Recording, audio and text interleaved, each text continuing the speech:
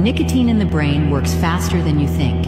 Within seconds, it reaches your reward system, telling your body to calm down, to focus, to feel in control. Your heartbeat slows, your breathing evens out, and for a moment, everything feels okay. That's why it feels comforting. Not because it heals anything, but because it tricks your brain into believing that you're safe.